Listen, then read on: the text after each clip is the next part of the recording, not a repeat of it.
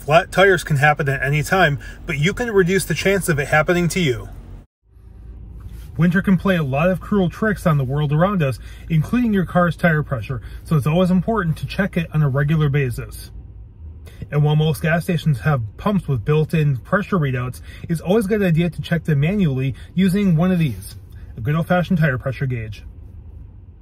But first, before you even check your tire pressure, you need to know exactly what pressure they need to be set at. Where do you find this? Your door jamb, of course.